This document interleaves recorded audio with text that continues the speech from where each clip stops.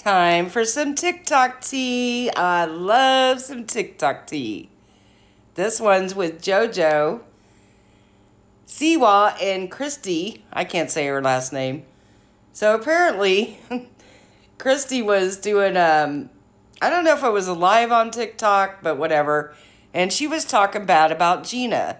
Now, if y'all remember, Gina was the choreographer and helper on the show Dance Moms. So JoJo was having none of this, let me tell you. And it's funny here, Christi, you can see she has a following of 1.4 million on TikTok, which is a lot. It's not bad at all. But let's see how many JoJo has. Like 30 million. the girl's got it going on. I don't care what you say, but JoJo's got it going on. The girl takes a lot of heat, but I think she's got a pretty good head on her shoulders. Let's give a listen to her TikTok.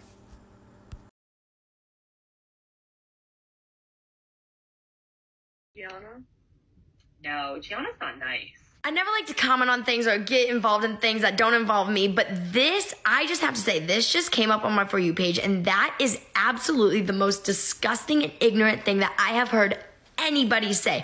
First of all, Gia is one of the sweetest people in the whole world. And second of all, she worked so hard every single week for so many people, including Chloe. She had one of the most stressful jobs on the show. She was in charge of choreographing every single number. Now, yes, of course, everyone has their moments and everyone isn't nice 24 7, including you, Christi. But the thing is, is you don't need to say that somebody is a nice person. I'm sure you're a very nice person, even though the experience that I've had with you, you were not nice to me. You actually made a very rude comment to me, but it may have just been a moment. You don't need to say that people are not nice people. I would never say that you're not a nice person just because our moment you were rude to me. It's just not what you do. Go, JoJo. She let her have it, but in a respectful way, in my opinion. To me, she's so mature for her age, even though she's definitely still marketing to a much younger um, girl. I I do kind of take issue with outfits like this one that are so under her age. I do feel like she's gonna have to glow up. And I know she's done articles talking about it. She knows she's gonna have to do it. I think, in my opinion, she's gonna have to do it soon. She's just getting too old to keep looking like a, you know, nine year old. And uh, she needs to be herself. Be you know, if she's goofy and fun, that's okay, but you don't have to dress like a nine year old. You know, her, I think what her group forgets is that her fans are growing up with her. So, you know, they don't stay nine either. Everybody's got to grow up. And just for fun, I thought I'd look up and see what Christi's daughter's TikTok looks like. Looks like she has 2 million followers on TikTok. Not bad but still not near what JoJo has. 30 million. That girl, you know, the thing is, she's probably banked enough money to never have to work again. So she can pretty much do whatever she wants, and I kind of get the feeling like she does. But then I feel like, too, like she doesn't have very good people advising her. Because I think she should have already done the glow up. I think it's time, JoJo. Not that JoJo cares what I think, but it's time to glow up. You know, you don't have to turn your back on your fans just because you're going to start dressing your age. You can still be goofy and fun and all that. But really, how long can you continue on with the glitter and the um, the clothes that look like a nine year old? The thing is, she is 17 now. I'm pretty sure she's pretty close to 18. So, at what point do you stop with the really young stuff and start acting your age. I don't know. She's going to have to make some big decisions. I feel like she needs a better PR group behind her to help her muddle through. You know, there was a time not too long ago where James Charles did her makeup for her to give her just a more mature look for her age instead of the glitter and the sparkle and all that. And I thought she looked amazing. Some people said James Charles made her look too old. I thought she looked great. He gave her a very natural look that I thought was very pretty. Here's another thing I liked so much about JoJo.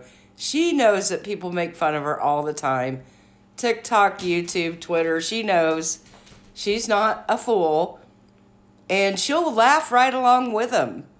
Of course, she's laughing all the way to the bank. the girl is smart.